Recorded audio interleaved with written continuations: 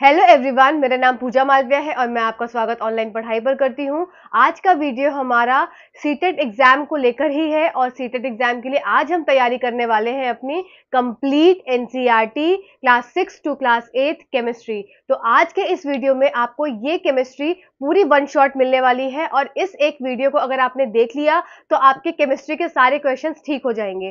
तो इस वीडियो को ध्यान से देखिएगा, बहुत बड़ा वीडियो नहीं है। आपको फिर भी अगर स्लो स्पीड लगे तो आप टू एक्स पर देखिएगा, एक दो बार सुन लीजिएगा रिपीट करके देख लीजिएगा, आपको चीज़ें याद हो जाएँगी।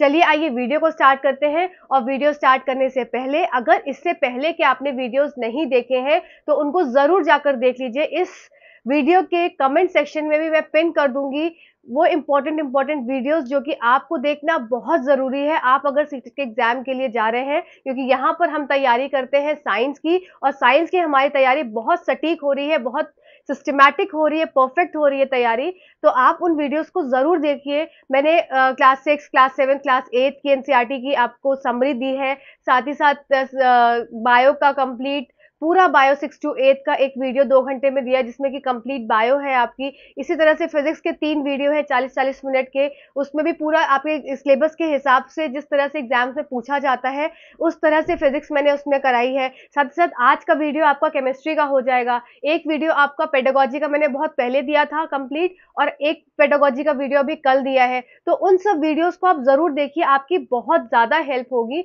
अभी आगे आने वाले सेशन जो दो तीन दिन है, ये सब बहुत इंपॉर्टेंट दिन है, इन सब चीज़ों को आप छोड़िए नहीं। देखते रहिए देखते रहिए आपका कहीं भी आपको मतलब कहीं भी आप लैक नहीं करेंगे सीटेट के एग्ज़ाम को क्लियर करने के लिए, पर आपको थोड़ी मेहनत अभी इस लेवल पे करनी पड़ेगी सभी को। चलिए आइए वीडियो को स्टार्ट करते हैं और अगर आप सीडीपी की भी तैयारी करना चाहते हैं तो आप सीडीपी की तैयारी पेडा लव चैनल के माध्यम से कर सकते हैं। वहाँ पर अमन सर है, वो भी बहुत अच्छे से आपके कॉन्सेप्ट को क्लियर करेंगे। चलिए आइए वीडियो को स्टार्ट करते हैं और अगर आप चैनल पे नए हैं तो सब्सक्राइब कर दीजिएगा। वीडियो को भी कमेंट ज़रूर करा करिए। कमेंट से ये पता लगता है कि चीज़ें आपको समझ में आ रही हैं कि नहीं आ रही हैं, या मुझे अपनी चीज़ों में और क्या बदलाव करने की आवश्यकता है। चलिए, देख लेते हैं सबसे पहले सबसे पहले हम देख लेते हैं कोल के बारे में कि इस केमिस्ट्री से कुछ कुछ टॉपिक्स हैं, बहुत ज़्यादा केमिस्ट्री नहीं है तो कुछ कुछ टॉपिक्स हैं जो जिससे आपको क्वेश्चंस देखने को मिलता ही मिलता है, जैसे कि कोल के चैप्टर से। तो कोल के चैप्टर से क्या क्या चीज़ें पूछी जाती हैं? तो कोल का फॉर्मेशन कैसे होता है? क्या चीज़ कौन सी ऐसी कंडीशन होती है जिसमें कि कोल, कोयला जो है वो बन रहा है? तो आप देखेंगे कोयला कैसे बन रहा है कि अगर फॉरेस्ट को अगर कोई भी बहुत बड़ा एरिया का फॉरेस्ट क्या है, अंदर ज़मीन के दब गया, कुछ ऐसी आपदा आ गई, कुछ सुनामी आ गई या आपका अर्थक्वेक आ गया लैंडस्लाइड हो गई तो इस वजह से क्या होगा? वहाँ का एरिया जो है पूरा सबमर्ज सबमर्ज हो जाएगा, पूरा दब जाएगा, अंदर बरी हो जाएगा तो उसकी वजह से क्या होगा, उस बड़े होने के मतलब उस दबने के कारण जब बहुत साल बीत जाएँगे बहुत ईयर्स बीत जाएँगे तो कुछ कंडीशंस ऐसी लगेंगी जिनके बाद क्या हो जाएगा कोल का फॉर्मेशन होगा। तो आपके एग्ज़ाम में पूछते हैं कि वो कौन सी कंडीशंस हैं तो आपको याद रखना पड़ेगा कि उच्च दाब और उच्च तापमान हाई टेम्परेचर और हाई प्रेशर ये दो ऐसी कंडीशंस होती हैं और साथ ही साथ समय तो लग ही रहा है, बहुत टाइम लग रहा है ओवर द ईयर्स लग रहे हैं। तो इन समय के साथ साथ आपको क्या चीज़ याद रखनी है? हाई टेम्परेचर और हाई प्रेशर आप यहाँ देख भी सकते हैं, लिखा हुआ है कि जो भी डेड वेजिटेशन है मतलब जो फॉरेस्ट का एरिया है, जब वो पूरा दब जाता है ज़मीन के अंदर, तब उसके ऊपर क्या मिल लगता है? सबसे पहले तो समय लगता है और समय के साथ साथ क्या लगा? आपका टाइम तो लगा ही, बहुत सारा आपका टाइम लगा। साथ ही साथ इसमें हाई टेम्परेचर और हाई प्रेशर लगा उच्च दाब और उच्च तापमान इससे क्या बन गया? आपका कोल का फॉर्मेशन हो गया। ठीक है? नेक्स्ट बात कर लेते हैं। अब कोल की बात कर रहे हैं तो सबसे अच्छा कोल कोल कौन सा माना जाता है? एंथ्रोसाइट है। तो ये बेस्ट कोल माना जाता है 86 से 97 परसेंट फिर आपका पीट क्या है? इसमें आ, पीट जो है लोएस्ट क्वालिटी ऑफ़ कोल माना गया है। ठीक है, इसके बाद बात कर लेते हैं कोल का प्रोसेस करंट या कोल की जो प्रोसेसिंग होती है तो इस कोल की प्रोसेसिंग में जो ये बाय प्रोडक्ट्स बन रहे हैं, ये आपसे एग्ज़ाम में पूछा जाता है, इसको याद रखेंगे, बहुत अच्छे से याद रखेंगे। कोल का क्या प्रसंस्करण है? तो कोल कोल की जब प्रोसेसिंग हो रही है तो कोल की प्रोसेसिंग के बाद कोल तार बन रहा है कोल गैस बन रहा है और कोक बन रहा है। तो कोक जो हो गया आपका it is a purest form of carbon carbon का सबसे प्योर फॉर्म होता है क्या? आपका कोक तो कोक आपका प्योरेस्ट फॉर्म ऑफ़ कार्बन है एग्ज़ाम में पूछते हैं। फिर कोल तार जो बना तो कोल तार से क्या है? नैप्थलिन बॉल्स जो बन आपने देखे होंगे घर में नैप्थलिन बॉल्स तो वो कैसे बनते हैं? वो कोल तार की हेल्प से बनते हैं। ठीक है, बात आती है कोल गैस तो तीसरा जो आपका बाय प्रोडक्ट हो गया कोल की प्रोसेसिंग में, वो आपका हो जाएगा कोल गैस ठीक है, जितना मैंने लिखा है, उतना ही आपको याद रखना ज़्यादा डिटेल में मत जाइए, अभी इस समय आपको एग्ज़ाम क्लियर करना है। अब बात कर लेते हैं पेट्रोलियम की।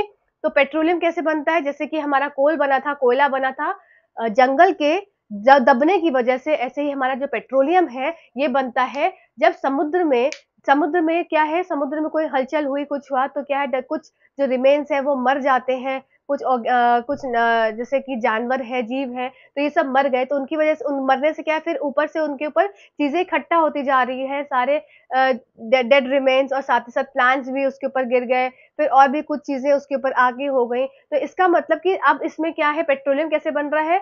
समुद्र के अंदर बन रहा है और समुद्र के अंदर जब जीव जंतु मर रहे हैं और बहुत समय लग रहा है, बहुत समय, बहुत ज़्यादा समय लग रहा है मतलब ओवर द ईयर्स फिर से लग रहा है। अब साथ ही साथ इसमें भी कुछ कंडीशंस होती हैं। तो वो कंडीशन सबसे पहली कंडीशन आपको सेम वही याद रखनी है, जो आपकी क्या हो जाएगी? कोल वाली, उच्च दाब और दूसरी उच्च तापमान, आपको याद हो गया। वेरी गुड अब बात करते हैं तीसरी कंडीशन तो तीसरी कंडीशन आपकी पेट्रोलियम में लगती है, ये है एब्सेंस ऑफ़ एयर मतलब यहाँ पर क्या होता है ऑक्सीजन की क्या है, अनुपस्थिति में ये कंडीशन जब लगती हैं, तब क्या है, आपका पेट्रोलियम फॉर्म होता है, ठीक है?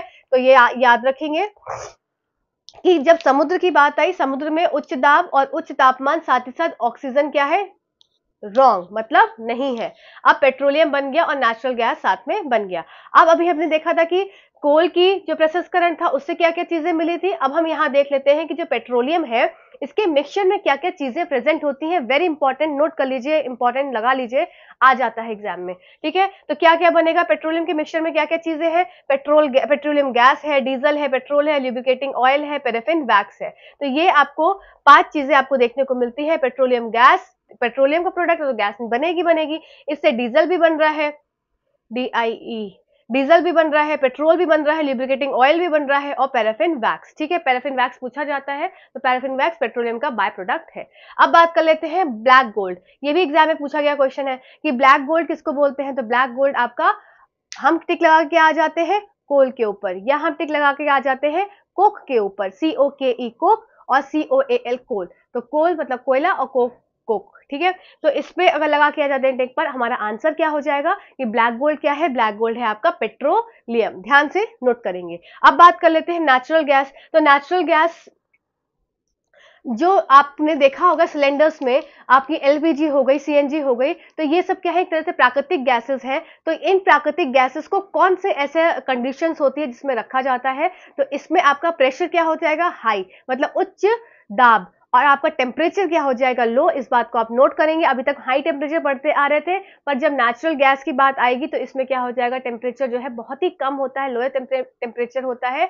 तो आपको नेचुरल गैस का याद रखना कि high pressure and low temperature ठीक? चलिए, अभी ये जो नीचे लिखा है, ये हमारा इधर का टॉपिक जो रह गया था, उसको मैंने इधर नोट कर दिया है। अभी हमको इधर देखना है। अब बात कर लेते हैं कंबशन एंड फ्लेम के चैप्टर से क्या क्या चीज़ें हमारी आती हैं। आपका कोई वाला चैप्टर कंप्लीट हो गया। चलिए नेक्स्ट चैप्टर देख लेते हैं हमारा कंबशन एंड फ्लेम तो ज्वाला, दहन और ज्वाला तो दहन और ज्वाला सबसे पहले इग्निशन टेम्परेचर क्या होता है? तो इग्निशन टेम्परेचर वो न्यूनतम से न्यूनतम टेम्परेचर होता है जिसपे कोई भी चीज़ जलती है। जैसे कि आपने गैस के आगे माचिस जलाई तो माचिस जलाते ही गैस के आगे वो जल जाएगी। तो मतलब वो क्या है? इसका मिनिमम टेम्परेचर है जिसपे वो चीज़ जल रही है। अब बात कर लेते हैं मैथस्टिक मैथस्टिक किससे बनी होती है? ये आपके एग्ज़ाम में पूछा जाता है। तो ए टी एस निमोनिक्स है ए टी एस पीसी और आपका पीसी और डब्ल्यू तो एटीएस से क्या हो जाएगा? एंटीमनी ट्राई सल्फाइड और WP से क्या हो जाएगा? व्हाइट फॉस्फोरस और आपका पीसी से क्या हो जाएगा? पोटेशियम क्लोरेट ये आप याद रखेंगे। कैसे भी करके याद करेंगे। एक दो बार देखेंगे, याद हो जाएगा। जब आपका ऑप्शन आएगा तो आप टेक कर पाएँगे, ठीक है? जो मैथ स्टिक है मैथ स्टिक जो उसकी तिली है, तिली में क्या क्या पर प्रेजेंट होता है? एटीएस पीसी और WP ATS antimony trisulphide PC potassium chlorate WP white phosphorus ठीक है, इसके बाद बात कर लेते हैं मैच स्टिक मैच बॉक्स के जो साइड में जैसा रफ सरफेस होता है, वो किस चीज़ का बना होता है? तो वो आपका ग्लास पाउडर प्लस आपका रेड फॉस्फोरस का बना होता है। ठीक है, जो साइड का रफ सरफेस जिससे आप ऐसा घिसते हैं। तो वो किसका बना होगा? वो आपका जो सरफेस है इसकी, ये सरफेस है इसकी, ये ग्लास पाउडर और रेड फॉस्फोरस की बनी होती है। रोज मेरा मार्कर लीक होता है। अब बात कर लेते हैं कि जो स्पॉन्ट कंबशन में दो तरीके के कंबशन आपको पढ़ने हैं, एक स्पॉन्टेनियस और एक आपको रैपिड कंबशन तो स्पॉन्टेनियस कंबशन ऐसा कंबशन है कि मतलब आप चाहते भी नहीं है, तब भी वो चीज़ हो जा रही है। अगर आपने सोडियम को एयर में लाया या पोटेशियम को एयर में लाया तो तुरंत उसमें आग लग जा रही है। क्यों? क्योंकि वो स्पॉन्टेनियस कंबशन है, एकदम से हो जा रही है। आप चाह रहे हैं चाहे नहीं चाह रहे उसको कोई फ़र्क नहीं पड़ता, उसको बस होने से मतलब है। पर रैपिड कंबशन कैसे होता है? ऐसे तरह के कंबशन जैसे कि आपने गैस जलाई और गैस आपने अपनी इच्छा के अनुसार जलाई और इच्छा के अनुसार जला के उसके पास माचिस की तिली लेके गए तो वो जल गई। तो ये एग्ज़ाम्पल किसका हो गया? आपका रैपिड कंबशन का और स्पॉन्टेनियस का आपका एग्ज़ाम्पल हो गया सोडियम और पोटेशियम आपको एक बात, एक पॉइंट और इसमें लिखवाऊँगी कि सोडियम को हम किसमें रखते हैं, केरोसिन में रखते हैं, क्योंकि इसकी एफिनिटी हाई होती है किसके साथ? वाटर के साथ साथ ही साथ एयर के साथ। एयर के कॉन्टैक्ट में आती है तो भी ये जल जाती है और अगर इसको पानी में भी रखते हैं तो भी इसमें आग पकड़ लेती है। इसलिए सोडियम को हमेशा केरोसिन में रखते हैं। उसकी अपेक्षा पोटेशियम जो होता है पोटेशियम हमारा हमेशा पानी में रखा जाता है। एयर एयर के कॉन्टैक्ट में आकर ये क्या है, आग पकड़ लेता है, इसलिए हम उसको पानी में रखते हैं। साथ ही साथ ये हाईली रिएक्टिव मेटल्स है। अभी हम जब मेटल नॉन मेटल का चैप्टर पढ़ेंगे तो हम उसमें और डिटेल में देखेंगे। अब बात कर लेते हैं कैलोरिफिक मान की कैलोरिफिक वैल्यूज़ तो इस कैलोरिफिक वैल्यू की जो टेबल है, ये आपको याद करनी है। मैंने आपको एक जब लेक्चर लिया था, जिसमें कि मोस्ट इंपॉर्टेंट टॉपिक वाले लेक्चर में आपको ये मैं ऑलरेडी बता चुकी हूँ, पर मैं यहाँ पे फिर से बता रही हूँ, क्योंकि केमिस्ट्री का हम एक ये वन शॉट वीडियो प्रिपेयर कर रहे हैं, जिसमें हम सारी चीज़ प्रिपेयर करेंगे अपने एग्ज़ाम पॉइंट ऑफ़ व्यू से। ठीक है? चलिए। तो सबसे पहले हाइड्रोजन की सबसे हाईएस्ट कैलोरिफिक वैल्यू होती है, सबसे ज़्यादा कैलोरिफिक वैल्यू किसकी हाइड्रोजन की। फिर आपकी क्या हो जाएगी? एलपीजी और सी एलपीजी की 55 फिर सीएनजी और मिथेन की, फिर पेट्रोलियम केरोसिन और डीजल फिर कोल की, फिर वुड की, फिर काउडंग की। आपसे काउडंग की पूछते हैं तो लोएस्ट हो जाएगी काउडंग की हाइड्रोजन की हाइएस्ट हो जाएगी। एलपीजी मिथेन और सीएनजी ये सब आपकी लगभग बीच के आस, बीच में आ जाएँगे। तो ये आप एक दो बार टेबल देख लेंगे तो आपको ये याद हो जाएगा। सबसे उच्च वाली हो जाएगी हाइड्रोजन, सबसे जो लोएस्ट हो जाएगी वो काउडंग और कोल की आपकी पच्चीस हज़ार के होती है। कुछ चीज़ें आप इसको रिलेट करके याद कर सकते हैं, ठीक है? और मैंने आपको याद करने का तरीका बताया था कि एलपीजी हमारी कहाँ होती है? किचन में होती है और किचन में हम कौन सी साबुन की टिक्की यूज़ करते हैं बर्तन धोने के लिए? मान लीजिए, फॉर एग्ज़ाम्पल कि 555 की जो टिकी आती है ना, जिससे बर्तन बर्तन घिसते हैं तो 555 तो इससे क्या हो गया? 55 और 55 से क्या हो गया? पचपन हज़ार के। तो ये आपको याद करने का तरीका है एलपीजी ठीक है? और सीएनजी और मीथेन इससे कम हो जाती है, पाँच कम पचास, और पेट्रोल और केरोसिन और डीजल उससे और दस कम मतलब पाँच कम तो पैंतालीस, ठीक? आपको एक तरह से बस एक ओवरव्यू लेना है, कुछ ऐसा कोई आपका वाइवा तो होना नहीं है, आप जब ऑप्शन देखेंगे तो आप खुद आंसर तक पहुँच जाएँगे। अब बात कर लेते हैं हम इसके बाद हमारी कैंडल के कैंडल के जोन आपसे पूछे जाते हैं और ये स्टेटमेंट फॉर्म में क्वेश्चन आता है कि कौन सा ल्यूमिनस जोन जोन है, कौन सा नॉन ल्यूमिनस जोन है, कौन सा जोन हॉटेस्ट जोन है, कौन सा ऐसा जोन है जो यूज़ करता है आपका, जो सुनार है किसी भी मेटल को गलाने में। तो वो कौन सा जोन हो जाएगा? वो आपका सबसे बाहर वाला जोन हो जाएगा, जो ये वाला नॉन ल्यूमिनस जोन है, इसको आप अगर एग्ज़ाम में आ जाता है तो लगता है कि ल्यूमिनस जोन करता होगा, क्योंकि वो नाम से है कि ल्यूमिनस मतलब जल रही है कोई चीज़। पर आपका आंसर हो जाएगा कि जो सोनार यूज़ करता है, कौन सा जोन होता है, वो नॉन ल्यूमिनस जोन होता है, वो इनविजिबल जोन होता है, पर साथ ही साथ वो हॉटेस्ट जोन होता है, जो कि हमको दिखाई नहीं देता है। ये सब पॉइंट्स आपको बहुत अच्छे से याद रखने हैं। ये जो बाहरी जोन है, बाहर का जोन अगर आप कैंडल को देखेंगे तो कैंडल को अगर दूर से आप इसे टच करेंगे तो आपके हाथ में आप जल जाएँगे। आपको कुछ दिख नहीं रही, कोई लेयर दिख नहीं रही, कोई आपको जोन दिख नहीं रहा है पर भी, फिर भी आपका हाथ जल जा रहा है। वो क्यों? क्योंकि वो आपका नॉन ल्यूमिनस जोन है और वो हॉटेस्ट जोन है। और साथ ही साथ इस इस जोन में क्या होता है? कंप्लीट कंबशन होता है। ये सब पॉइंट्स आपको बहुत इंपॉर्टेंट है याद रखने के लिए। और आप टेलीग्राम चैनल से जुड़ जाइए। टेलीग्राम चैनल पर मैं बोर्ड की पीडीएफ एज सच बोर्ड को स्क्रीनशॉट खींच के आपको पोस्ट कर देती हूँ। तो उससे आप लास्ट में बस आप ऐसे ऐसे स्क्रॉल करेंगे आपका बहुत अच्छे से रिविजन हो जाएगा। तो ये क्या हो गया? नॉन लिमिनेस जोन इनविजिबल होती है हॉटेस्ट होती है और इनकम्प्लीट कंबशन देखने को मिलता है। इसके बीच वाला जोन जो होता है ल्यूमिनस जोन होता है, जो बहुत चमकीला होता है, इसका मतलब वो ब्राइटेस्ट जोन है। पर इस ब्राइटेस्ट जोन में क्या प्रॉब्लम हो जाती है कि ये ब्राइटेस्ट जोन आपको देखने में लग रहा है ल्यूमिनस है, इसका मतलब सब कुछ हो रहा होगा, पर यहाँ पे इनकम्प्लीट कंबशन देखने को मिलता है और ये आपका मॉडरेटली हॉट होता है। बात कर लेते हैं लास्ट वाली जोन की, जो कि डार्क जोन इनमोस जोन होता है हमारा।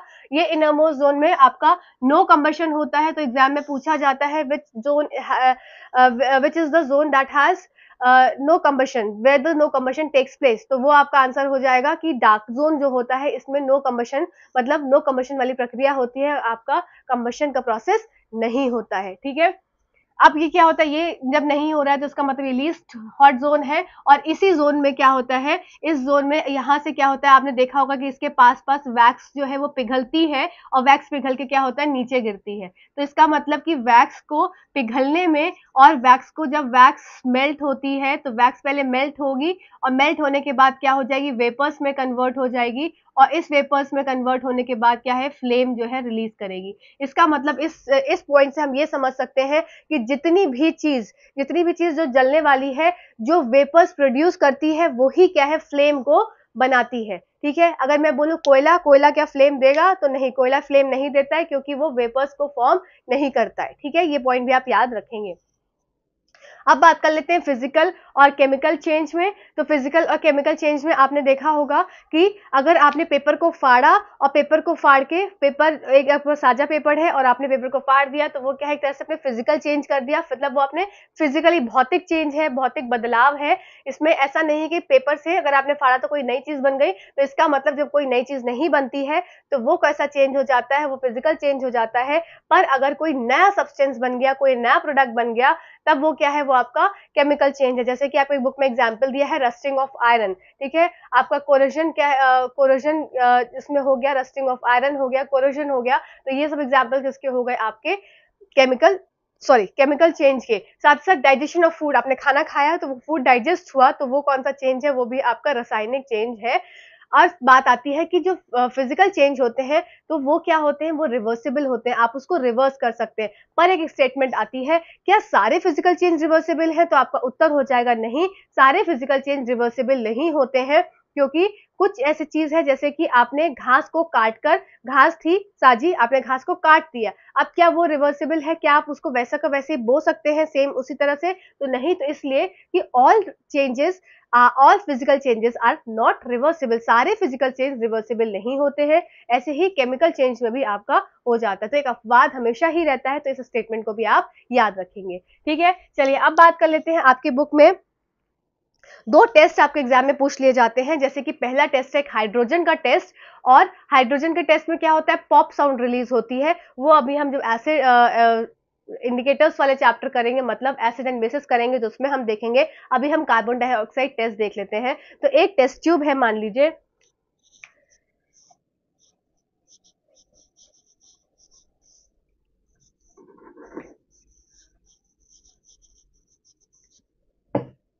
मान लीजिए ये मेरे पास एक टेस्ट ट्यूब है और इस टेस्ट ट्यूब में क्या प्रेजेंट है? इस टेस्ट ट्यूब में प्रेजेंट है लाइम वाटर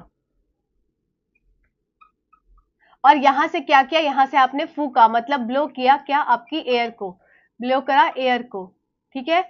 फूक को आपने फूका मतलब फूका। तो इससे क्या होगा? आपकी फूक में क्या प्रेजेंट होगा? कार्बन डाइऑक्साइड प्रेजेंट होगा। तो इस फूक के कार्बन डाइऑक्साइड प्रेजेंट होने से ये कार्बन डाइऑक्साइड क्या है? इसमें आ जाएगी। अब इसमें आने के बाद तो ये लाइम वाटर को क्या कर देगी? ये लाइम वाटर को मिल्की दूध या कलर में कन्वर्ट कर देगी। तो ये आपका कार्बोहाइड्रेट टेस्ट होता है जो आपकी बुक में दिया है। इसके बाद बात कर लेते हैं गैल्वेनाइजेशन गैल्वेनीकरण का। गैल्वेनीकरण एक तरह की प्रक्रिया होती है जिसमें कि आप कोई भी मेटल के ऊपर एक कोटिंग करते हैं और उस कोटिंग से, उस मेटल को कोरोजन से बचाया जाता है, ठीक है? तो गैल्वेनाइजेशन एक प्रोटेक्टिव कवरिंग होती है कोटिंग होती है, किसके ऊपर? आयरन या स्टील के ऊपर टू प्रिवेंट रस्टिंग या कोरोजन उसमें रस्ट बनाने से या कोरोजन से उसको फ्री करने के लिए इसके ऊपर एक कोटिंग की जाती है। अब कोटिंग किसकी होती है? क्रोमियम की कोटिंग होती है और या जिंक की कोटिंग होती है। तो ये दो वर्ड्स आप याद रखेंगे। कोटिंग किसकी हुई? क्रोमियम की कोटिंग या जिंक की कोटिंग और किस पे हुई? आयरन के ऊपर हुई या स्टील के ऊपर हुई, ठीक है? क्रोमियम की कोटिंग, जिंक की कोटिंग किसके ऊपर? आयरन के ऊपर या स्टील के ऊपर, ठीक है? इसके साथ साथ स्टेनलेस स्टील किससे बना होता है? आयरन, कार्बन, निकल मैग्नीस और क्रोमियम। ये आपको याद करना पड़ेगा। आयरन, कार्बन, निकल मैग्नीस और क्रोमियम। किस क्या क्या है? ये स्टेनलेस स्टील इससे बना हुआ है ठीक है? अब बात कर लेते हैं एसिड एंड बेसिस के चैप्टर की कि एसिड एंड बेसिस क्या होता है? तो देखिए जो आपसे एग्ज़ाम में पूछते हैं मैं वही यहाँ पे करने वाली हूँ। आपको ये जो आ, कि एसिड क्या होते हैं खट्टे होते हैं कि क्या होते हैं ये सब आपको पता है ठीक है? सिंपल बता देती हूँ कि एसिड जो होते हैं they release H plus ions ठीक इनके पास क्या होता है? ये एच प्लस आयन्स रिलीज़ करते हैं और जो बेसिस होते हैं, ये क्या रिलीज़ करते हैं? ये आपके ओ OH माइनस आयन्स को रिलीज़ करते हैं, ठीक है? अब इसके बाद बात कर लेते हैं कि एसिड्स जो होते हैं, ये हमारे कैसे सॉर टेस्ट में होते हैं और बेसिस क्या होते हैं, आपके ये बिटर होते हैं और स्लिपरी होते हैं, स्लिपरी टू टच होते हैं, बस इतना काफ़ी है। अब बात कर लेते हैं लिटमस पेपर। तो आपको कुछ इंडिकेटर्स पढ़ने हैं, कुछ सूचक पढ़ने हैं तो वो सूचक आपके हो जाएँगे। एक तो आपके नेचुरल इंडिकेटर्स फिर एक आपके ऑल्फेक्ट्री इंडिकेटर्स फिर एक आपके सिंथेटिक इंडिकेटर्स ठीक है? तो ये तीन इंडिकेटर्स आपको पढ़ने हैं एनओएस या एस ओ एन सन तो एस हो गया सिंथेटिक इंडिकेटर्स ओ हो गया ऑल्फेक्ट्री इंडिकेटर्स और आपका एन हो गया नेचुरल इंडिकेटर्स ठीक है? तो ऑल्फेक्ट्री इंडिकेटर्स जितने भी होते हैं, जैसे प्याज हो गया तो ये सब लॉन्ग हो गई तो ये क्या हो जाएँगे? इनका क्या होगा? स्मेल में चेंज हो जाएगा, बदलाव आ जाएगा, जब ये एसिड में रहेंगे। तो ये सब चीज़ें बस सिंपल आप पता करिए सिर्फ़ आप जान लीजिए मेन आपको पढ़ने हैं सिंथेटिक इंडिकेटर्स और नेचुरल इंडिकेटर्स में। ठीक है? चलिए, अभी देख लेते हैं कि लिटमस लिटमस इंडिकेटर तो लिटमस इंडिकेटर लिटमस का जो पेपर होता है, वो जनरली पर्पल कलर का आता है। ठीक है? याद रखेंगे इस बात को। लिटमस का पेपर लिटमस का जो पेपर होता है, वो डिफरेंट डिफरेंट कलर्स में आता है। तो जनरली वो पर्पल कलर का पाया जाता है। तो पर्पल कलर का जब पेपर होगा, अगर कोई भी एसिड होगा तो वो पर्पल कलर किसमें कन्वर्ट हो जाएगा, ये बात याद रखेंगे। जब एसिड होगा तो वो पर्पल कलर रेड में कन्वर्ट हो जाएगा। जब वो बेस होगा, कोई भी सोल्यूशन तो वो पर्पल कलर आपका ब्लू में कन्वर्ट हो जाएगा। किस, क्या मैंने बोला? कि जो लिटमस पेपर अगर देखिए आपको लिटमस पेपर हमेशा कलर के हिसाब से समझना होगा। अगर कलर पर्पल है तो एसिड में क्या हो जाएगा? आपका रेड कलर हो जाएगा और अगर बेस है तो आपका ब्लू कलर हो जाएगा। ये बात याद रखेंगे। पर, अगर मेरे पास रेड लिटमस पेपर है या मेरे पास ब्लू लिटमस पेपर है, तब उस कंडीशन में क्या होगा? अभी कलर चेंज हो गया लिटमस पेपर का। अभी तक मेरे पास क्या था? पर्पल लिटमस पेपर था। अब क्या है? रेड लिटमस पेपर या ब्लू लिटमस पेपर तो आप एक बात याद रखेंगे।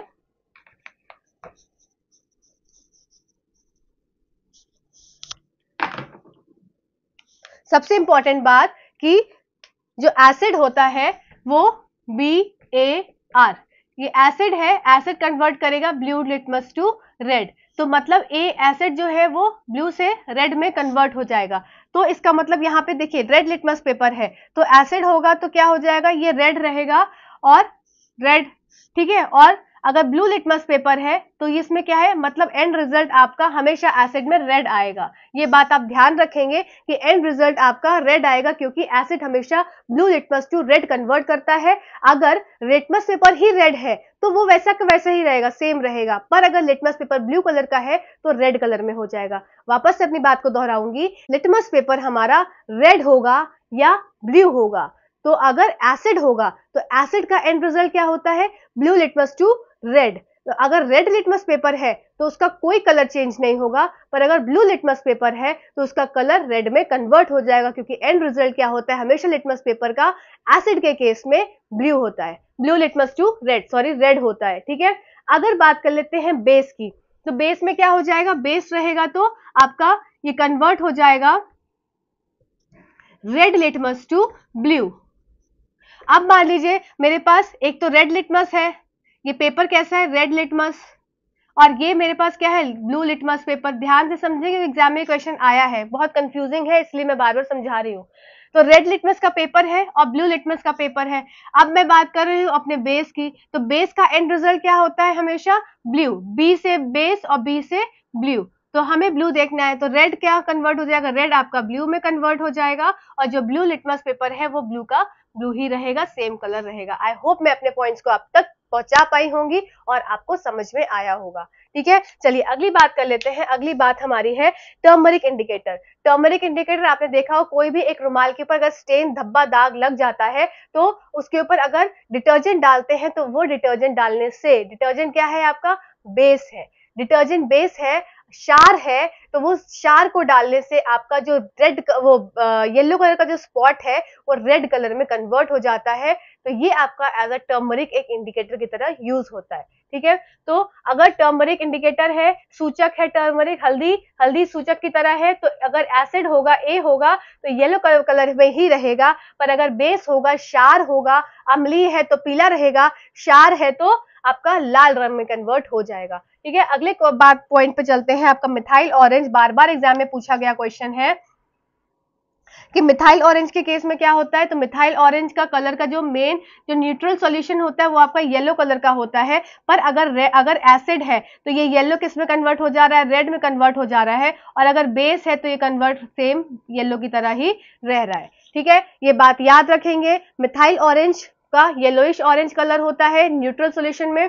जैसे ही आप एसिड डालते हैं उस इंडिकेटर में, उस सूचक में तो आपने जब अम्लीय उसको मीडियम दिया, तब क्या हो गया? वो रेड कलर में कन्वर्ट हो गया। पर जैसे ही आपने क्षारीय मीडियम बनाया तो वो येलो सेम वैसा का वैसा ही रहा। ठीक है? अगली बात कर लेते हैं फिनोप्थिलिन की। ये भी बार बार पूछा गया क्वेश्चन है कि फिनोप्थिलिन क्या होता है? न्यूट्रल रहता है। जब न्यूट्रल उदासीन सोल्यूशन में रहता है तो ये आपका कलरलेस होता है। इसका कोई कलर नहीं होता है। पर जैसे ही आप एसिड डालते हैं तो वैसा का वैसा ही रहता है। पर जैसे ही आप बेस डालते हैं मतलब शार डालते हैं तो वो कलर पिंक में कन्वर्ट हो जाता है। ये पॉइंट को आप बहुत अच्छे से नोट करेंगे। ठीक है?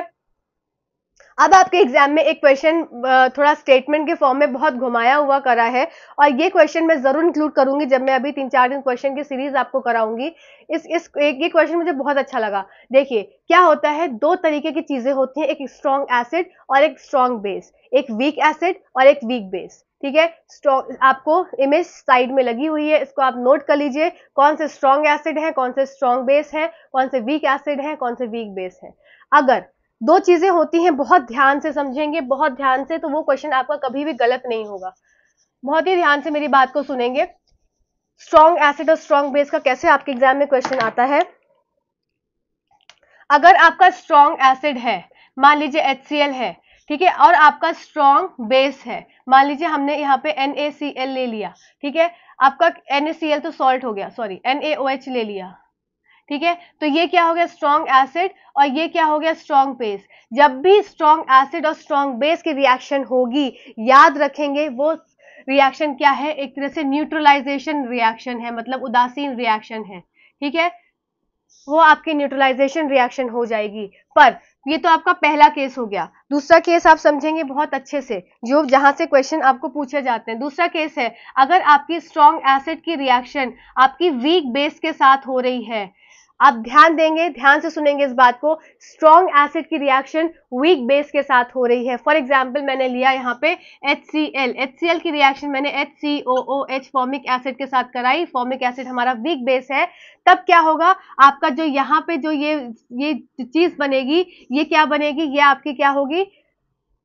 ये कैसा सॉल्यूशन बनेगा? ये आपका सॉल्यूशन बनेगा आपका एसिडिक क्यों? क्योंकि आपका स्ट्रॉन्ग कौन था? एसिड था तो आपका सॉल्यूशन कैसा बनेगा? एसिडिक बनेगा। ये बात आप याद रखेंगे। अगर थर्ड केस अगर आपका वीक एसिड है और आपका स्ट्रॉन्ग बेस है वीक एसिड और स्ट्रॉन्ग बेस ये आपका थर्ड केस हो गया। तो वीक एसिड और स्ट्रॉन्ग बेस में तो क्या हो जाएगा? देखिए, अब क्या है स्ट्रॉन्ग बेस है तो आपका कैसा मीडियम हो जाएगा? आपका मीडियम अम्लीय हो जाएगा, जिसको आप एल्कलाइन बोलेंगे। यह आपका बेसिक मीडियम हो जाएगा, ठीक है? ये बात बहुत अच्छे से ध्यान रखेंगे। चौथी कंडीशन हो जाती है, जब आपका वीक एसिड होगा और वीक ही बेस हो जाएगा तो वापस से न्यूट्रलाइजेशन उदासीन रिएक्शन आपको देखने को मिलेगी।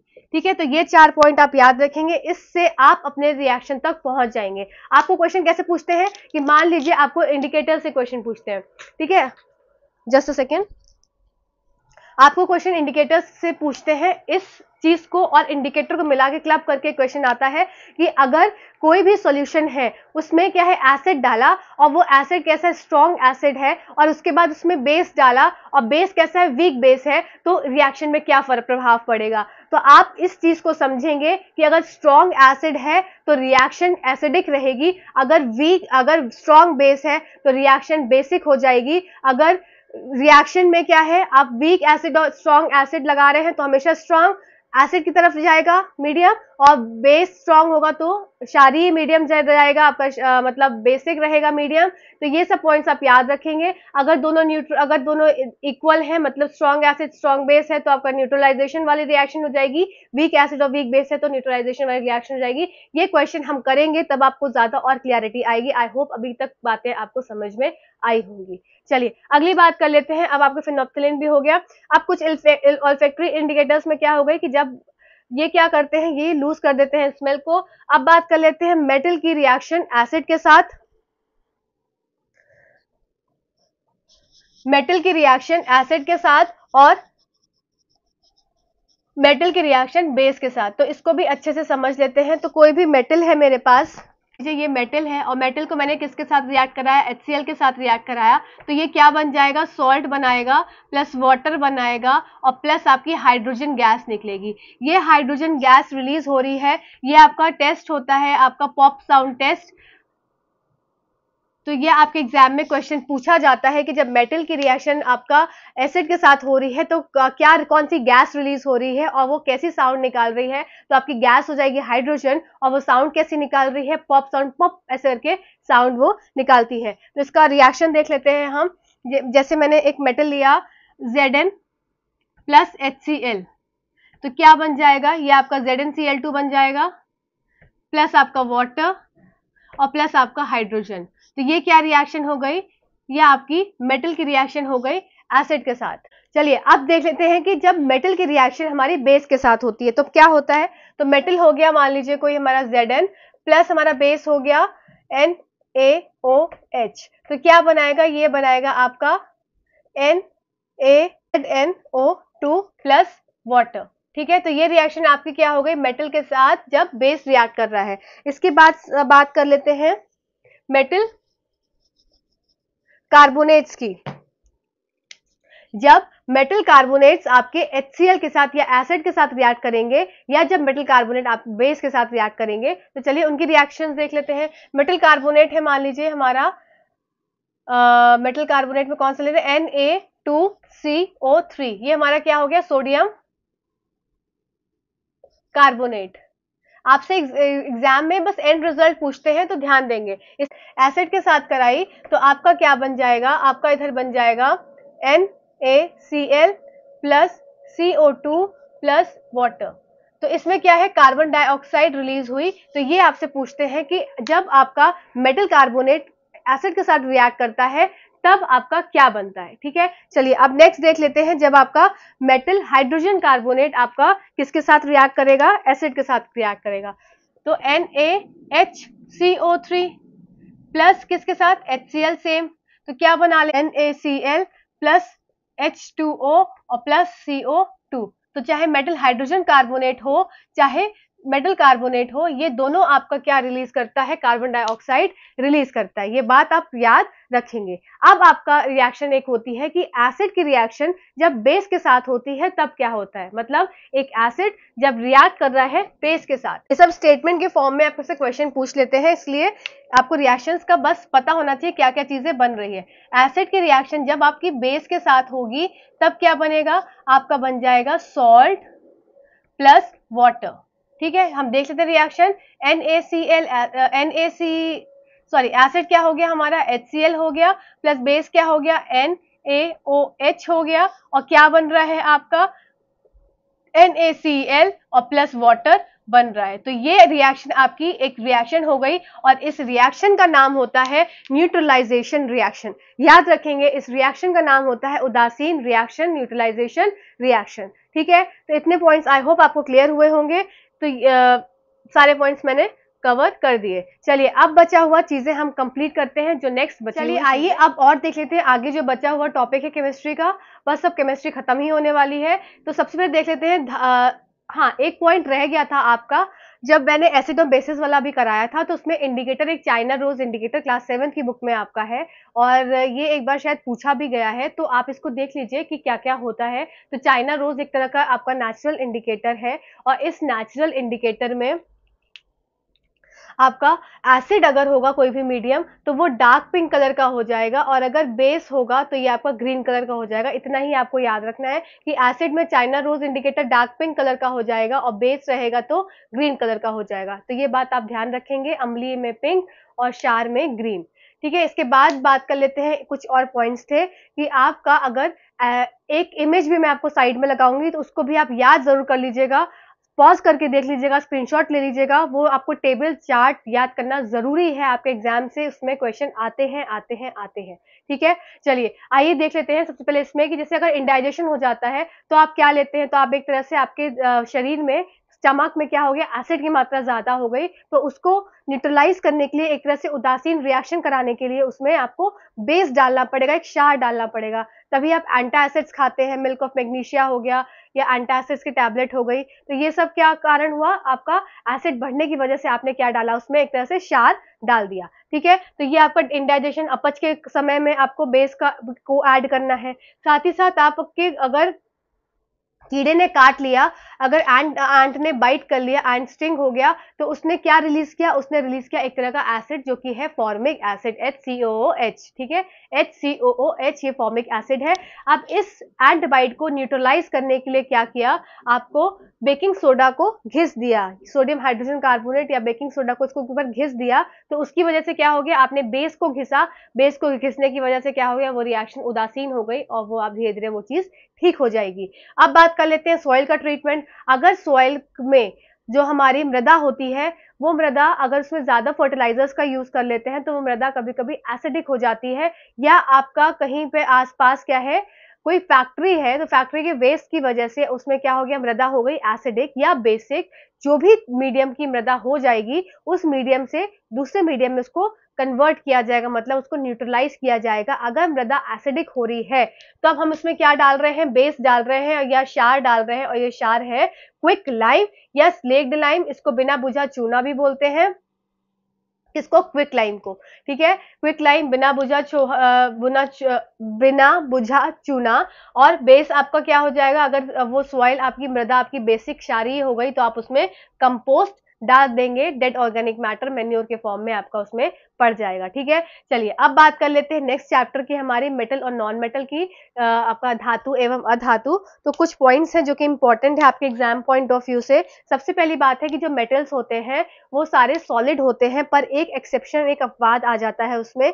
वो अपवाद है कि आपका मरकरी जो है वो लिक्विड स्टेट में प्रेजेंट होता है तो मरकरी है तो आपका मेटल पर वो क्या है आपका एक तरह से लिक्विड स्टेट में रहता है प्रेजेंट ठीक है? तो एक्सेप्शन हो गया।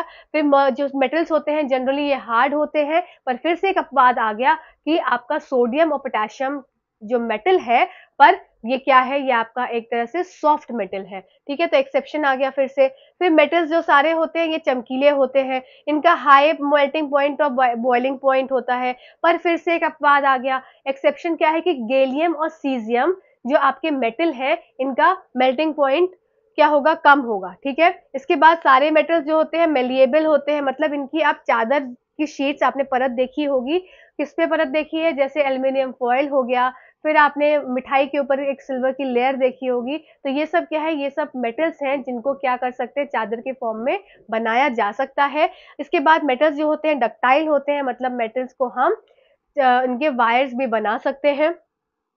फिर मेटल्स हमारे good conductor of heat and electricity होते हैं मतलब चालक, अच्छे चालक होते हैं।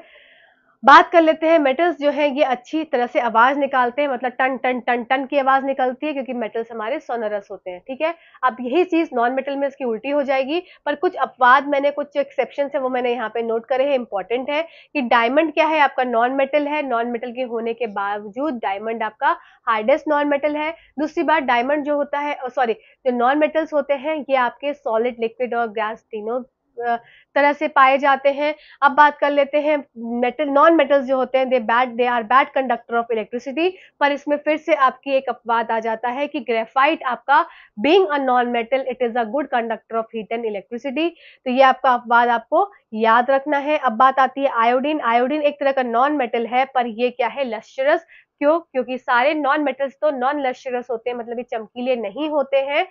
अब आयोडीन क्या है? आपका नॉन मेटल है, पर फिर भी ये लश्चरस है, चमकीला है। क्यों? क्योंकि एक अपवाद के अंदर आता है। ठीक है?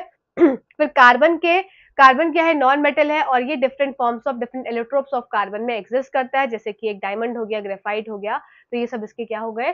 डिफरेंट फॉर्म्स ऑफ़ कार्बन हो गए। ठीक है? अब बात कर लेते हैं केमिकल रिएक्शन की। तो केमिकल रिएक्शन मेटल जब ऑक्सीजन के साथ रिएक्ट करता है ये आपसे पूछते हैं, एग्ज़ाम में ध्यान रखेंगे कि मेटल जब ऑक्सीजन के साथ रिएक्ट करता है तो क्या बनाता है? आपका मेटल ऑक्साइड बनाता है, जैसे देख सकते हैं कॉपर प्लस ऑक्सीजन की रिएक्शन हुई तो कॉपर ऑक्साइड बना। आपसे क्या पूछते हैं कि metal oxide are basic in nature acidic in nature के क्या होते हैं? तो मेटल ऑक्साइड्स आपके बेसिक इन नेचर हमेशा क्षारीय होते हैं नेचर में। बेसिक इन नेचर, ठीक है? तो ये कैसे होते हैं आपके बेसिक इन नेचर? आपसे एग्ज़ाम में पूछा जाता है तो इस पर आप इंपॉर्टेंट लगा लेंगे। अब बात कर लेते हैं दे आर इंसॉलेबल मतलब पानी में घुलनशील नहीं होते हैं कौन? Metal oxides in water but some dissolve in and form क्या बना, जो डिजोल्व हो जाते हैं, वो क्या बनाते हैं? वो एल्कली बनाते हैं। ये क्लास टेंथ की लाइन है, आप याद करेंगे भी कि नहीं याद करेंगे आपकी मर्ज़ी है। क्लास टेंथ की स्टेटमेंट में ये लाइन लिखी गई है। अब बात करते हैं रिएक्शन विद वाटर जब मेटल की रिएक्शन वाटर के साथ होती है तो आपने देखा है कि मेटल ऑक्साइड बना रहा है, साथ में हाइड्रोजन गैस रिलीज़ कर रहा है। अब आप आपको जैसे मेटल क्या हो गया? सोडियम ये क्या है? पोटेशियम आपको यहाँ सोडियम से भी रिएक्शन हो सकती है कैल्शियम से भी रिएक्शन हो सकती है। तो इसकी डीप रिएक्शन तो क्लास टेंथ वाले में दी गई है कि किसमें कैच कर रहा है? फायर किसमें वो फ्लोट कर रहा है? किसमें क्या हो रहा है? किसमें वो ठंडे पानी से रिएक्ट कर रहा है? तो वो सब रिएक्शन मैंने यहाँ नहीं लिखी है, वो सब क्लास स्टैंडर्ड टेंथ की है। तो अगर एट्थ के स्टैंडर्ड के हिसाब से देखें तो बस सिर्फ़ इतनी बात है कि मेटल रिएक्ट करता है पानी के साथ और क्या बनाता है? आपका मेटल ऑक्साइड बनाता है, साथ ही साथ हाइड्रोजन गैस रिलीज़ करता है, ये आपको याद रखना है। अगर मैं पोटेशियम की रिएक्शन दिखाऊँ तो ये पानी के साथ जैसे ही रिएक्ट करेगा तो ये आग पकड़ लेगा। ऐसे ही सोडियम की रिएक्शन दिखाऊँ तो ये भी क्या हो जाएगा? पोटेशियम जो पोटेशियम है ये पानी के साथ रिएक्ट करेगा तो ये क्या होगा ये आ, ये एक्सोथर्मिक रिएक्शन हो जाएगी और आपका सोडियम जब पानी के साथ रिएक्ट करेगा तो ये आपका आग पकड़ लेगा, ठीक है? साथ ही साथ रिएक्शन विद एसिड्स तो जब रिएक्शन मेटल की एसिड के साथ होती है तो ये सॉल्ट बनाता है प्लस वाटर बनाता है। अब जब मेटल है और प्लस एच एसिड है तो ये क्या बना रहा है? एम प्लस वाटर इसमें आपको मेन बात ये रखनी है कि मेटल की रिएक्शन जब वाटर के साथ हो रही है तो लार्ज अमाउंट ऑफ़ हीट जो है वो रिलीज़ हो रही है। ये बात आप ध्यान रखेंगे ठीक है? और आग पकड़ने वाली बात क्या है कि जो सोडियम दो, जो दो मेटल्स होते हैं इस पॉइंट को फिर से मैं रिपीट कर दे रही हूँ अगर आपको कन्फ्यूज़न क्रिएट हो गया है सोडियम और पोटेशियम पोटेशियम को किसमें रखा जाता है? पोटेशियम को वाटर में रखा जाता है। सोडियम को हम वाटर में नहीं रख सकते। क्यों नहीं रख सकते? क्योंकि ये इसके साथ पकड़ के क्या निकाल देगा? आग जला देगा।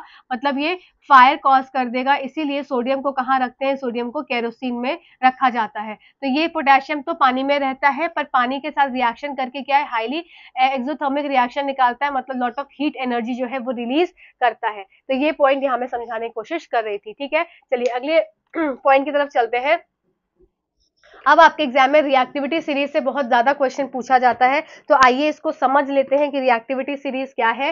तो रिएक्टिविटी सीरीज़ में जो सबसे ऊपर मेटल होता है, वो क्या हो जाएगा? वो हाईली रिएक्टिव होता है और जैसे जैसे आप नीचे चलते जाएँगे, या इनकी रिएक्टिविटी जो धीरे धीरे वो कम होती चली जाएगी। इसलिए आपने देखा है कि पोटेशियम हाईली रिएक्टिव है, फिर सोडियम फिर कैल्शियम फिर मैग्नीशियम फिर एल्यूमिनियम फिर जिंक आप इसको याद कैसे रखेंगे? आप इसको याद रखेंगे, एक निमोनिक्स से, ये निमोनिक्स है, कालू नाम का मदारी आलू ज़रा फीके पकाता और यहाँ पे है मतलब यहाँ पे बीच में आ गया हाइड्रोजन और इसकी एफिनिटी जो हम देखते हैं, वो हम किससे देखते हैं? वो हम हाइड्रोजन से देखते हैं कि सबसे पहले हाइड्रोजन से नीचे वाले क्या हो जाएँगे? लीस्ट रिएक्टिव की तरफ़ आ जाएँगे. ये हाइड्रोजन से क्या है? एक तरह का मान है. इसके ऊपर वाले क्या हो जाएँगे? रिएक्टिव हो जाएँगे. इसके नीचे वाले क्या हो जाएँगे? लीस्ट रिएक्टिव की तरफ़ आ जाएँगे. क्यों? क्योंकि बीच में हमारा एक मान प्रेजेंट है जो कि हाइड्रोजन है. अब देख लेते हैं, जैसे कि रिएक्शन आपको दी, आपके एग्ज़ाम्स में क्या करते हैं? एक रिएक्शन चार पाँच रिएक्शन रिएक्शंस दे देते हैं। अब आपसे पूछते हैं कि कौन सी रिएक्शन पॉसिबल होगी और कौन सी नहीं होगी पॉसिबल तो वो जो पॉसिबल होगी, वो आपकी रिएक्टिविटी सीरीज़ के हिसाब से ही पॉसिबल होगी। आपको उसमें से चेक करना पड़ेगा कि जो मेटल अगर हाईली रिएक्टिव है तो वो लेस रिएक्टिव मेटल को डिस्प्लेस कर सकता है। मैंने क्या बोला कि जो हाई रिएक्टिव मेटल होगा, वो लेस रिएक्टिव मेटल को जो कंपाउंड रहेगा, उससे उसको डिस्प्लेस कर लेगा। तो आइए इस बात को समझते हैं।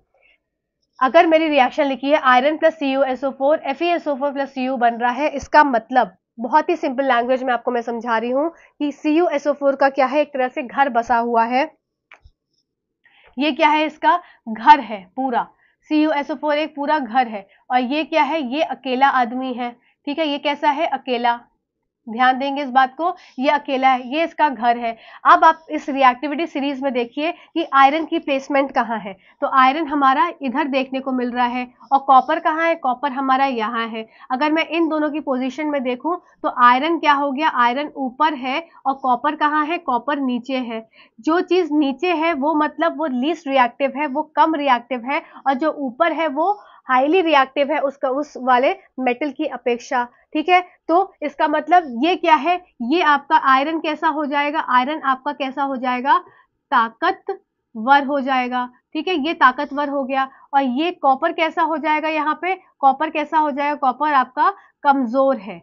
जब जो कमज़ोर है तो इसका मतलब जो ताकतवर है, वो कमज़ोर पे के ऊपर अटैक कर सकता है। पर कॉपर के पास क्या है? कॉपर के पास अपना घर है, पर अपना घर होने के बावजूद कॉपर क्योंकि वीक है, कमज़ोर है तो कॉपर अपना घर को नहीं बचा पाएगा। उसका घर कौन ले लेगा? उसका घर आयरन उसका घर ले लेगा। अब आयरन ने क्या किया? कॉपर के घर को ले लिया और आयरन इससे क्या बन गया? आयरन सल्फेट बन गया और कॉपर अब अकेला छूट गया। तो ये मेरे ख्याल से आपको समझ में आया होगा कि जिसकी एफिनिटी ज़्यादा होती है, जो मोर रिएक्टिव होता है, वो अपने से कम कमज़ोर वाले की पोजीशन उसका घर सब कुछ ले लेता है और उसको अकेला छोड़ देता है। अपना वो उस घर के अंदर बसकर रह जाता है, ठीक है? अब आपके हिसाब से कोई भी रिएक्शन अगर आएगी तो आप इस चार्ट के हेल्प से आप बना सकते हैं। अगर आपकी रिएक्शन MgCl2 की आए, अगर आपकी reaction L two L aluminium की आए, आपकी जिंक की आए तो आप इससे बना सकते हैं कैसे? क्योंकि अगर ऊपर रहेगा तो वो नीचे वाले को रिप्लेस कर सकता है। अगर ऑपोजिट दे देते तो ये चीज़ नहीं हो पाती पॉसिबल ठीक है? तो ये बात आप समझेंगे, अगर ऑपोजिट रिएक्शन होती तो ये चीज़ पॉसिबल नहीं हो पाती। आई होप आप, मैं अपने पॉइंट्स में क्लियर हुई होंगी। इसके बाद बात कर लेते हैं नेक्स्ट चैप्टर हमारा आज का लास्ट चैप्टर है सेपरेशन ऑफ़ सब्सटेंसेस कि जो कुछ पदार्थ है, उनको कैसे आप अलग कर सकते हैं? तो जैसे हो गया हैंड पिकिंग हाथ से चुनना। तो हाथ से चुनने में जैसे घर में बिनते हैं दाल चावल, के कंकड़ को निकालना, वो हाथ से चुनना हो गया। फिर बात आती है आपकी नेक्स्ट है थ्रेशिंग थ्रेशिंग मतलब ताड़ना। तो आपने देखा होगा कि जहाँ खेत खलियान होते हैं, उनके आसपास ऐसे लट्ठे गोल गोल से बने होते हैं तो वो लट्ठों को क्या करते हैं, ऐसे हाथ में पकड़ते हैं और ऐसे पीटते हैं। उन पीटने से क्या होता है, जो धान, जो ग्रेन्स होते हैं, जो अनाज होता है, वो अलग गिर जाता है और जो घास का फूस का पूरा ऐसा डंठल होता है, वो अलग हो जाता है। तो इस प्रक्रिया को क्या बोलते हैं थ्रेशिंग बोलते हैं। बीटिंग फ्रॉम द शाफ आपकी लाइन क्या होती है बीटिंग फ्रॉम द शाफ मतलब शाफ से बीट करना ऐसे इस तरीके से बीट करना, ये हो जाएगी थ्रेशिंग फिर विनोइंग आपने देखा होगा औरतों को सूप लेके इस तरह से वो क्या करती हैं ग्रेन्स को साफ़ करती हैं, वो साफ़ करने का तरीका कैसे हो जाएगा कि आप उनका ग्रेन उसमें पड़ा है, अब ग्रेन में क्या है, भूसी भी है, कंकड़ भी है, और भी तरह के कचरे हैं तो ऐसे ऐसे अगर वो उसको हवा में हवा की जिस दिशा में रहती है तो उसके ऑपोजिट वो खड़े होकर इस तरह से करती हैं हिलाती हैं तो इससे जो भूसी होती है जो उसमें फास होती है वो सब उड़ जाती है और जो उनका अनाज होता है वो नीचे गिर जाता है इस प्रक्रिया को बोलते हैं विनोइंग या सूप के द्वारा उस उस, उस ग्रेन्स को साफ़ करना। ठीक है? तो ये भी आपका सेपरेशन हो गया एक तरह से। अब बात कर लेते हैं सीविंग की। आपने घर में आटे को चालते हुए देखा होगा, कोई और घर का सामान देखा होगा चालते हुए इस तरीके से छन्नी से। तो वो क्या हो गया? सीविंग का मेथड हो गया। अब बात कर लेते हैं सेडिमेंटेशन डिकैंटेशन और आपका फिल्ट्रेशन सेडिमेंटेशन अवसादन, निस्तारण और छानना। तो आइए इसको हम बहुत अच्छे से समझ लेते हैं।